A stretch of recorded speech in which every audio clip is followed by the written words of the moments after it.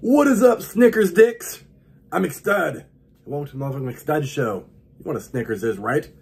Snicker dick is a one big chocolate dick with a vein in it, I guess. Unless it's like, uh, they make white chocolate Snickers? I don't fucking know. Either way, it's a chocolate dick with a vein.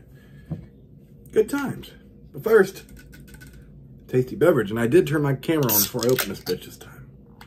Try to fuck me up. Cheers, motherfuckers. Mmm. Man, it's motherfucking Tuesday, Titty Tuesday.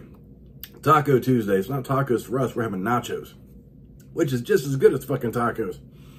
Um, it depends on the tacos. But nachos are always good. And like, I, I don't really like to compare tacos and nachos. Because they're, they, one is different than the other. Unless you're having crunchy tacos. Now, if you're getting like some regular, like some street tacos or some shit, totally different from nachos.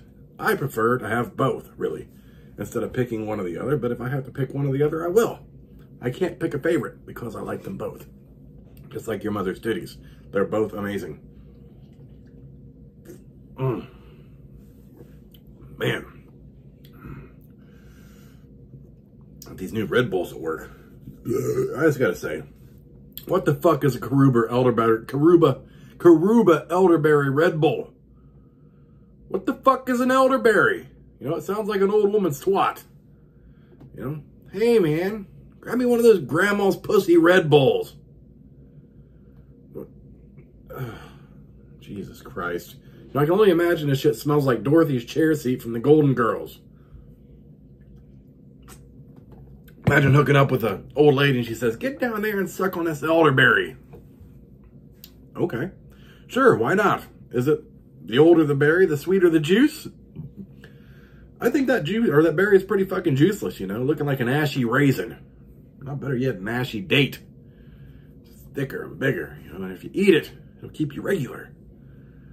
You know, what do you think an old lady's queef smells like? Goddamn, going my Mike Tyson lisp and shit. You know, does it smell like dried fish, smoked dried fish? You know, that's a motherfucking snack right there. You know, your tongue deep in her catacombs and looking up like, you got dinner in the slow cooker? You know? How about you? But I like my elderly women in incontinent. That way when I'm six, finger, finger, six fingers deep in her love shack and flicking a raisin with my tongue, I can't tell if it's piss or squirt. Well, either way, I guess it's all piss, depending on who you ask, you know. But the bottom line is that it's warm and wet, like a tropical turtle tank. As a matter of fact, we we won't call it piss or squirt. We'll call it crush, you know, kind of like the drink, but named after the turtle from Finding Nemo. And when you're done dislocating that elderly woman's hips, she can have you run down to the cellar and grab some jarred or canned foods. Jarred foods, you know, the jarred, you know, jar them and shit. Um, um excuse me. Anyways, grab those jarred food, jarred, uh, jarred foods, and she can use her Hoveround to get around the kitchen too and make you a nice home cooked meal. It's like Thanksgiving after Dicksgiving.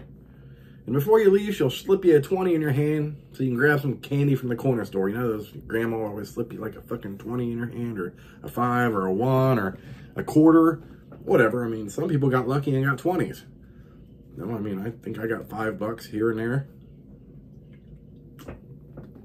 No matter what it was, it was nice and generous. They didn't have to do that, but they did, if they could.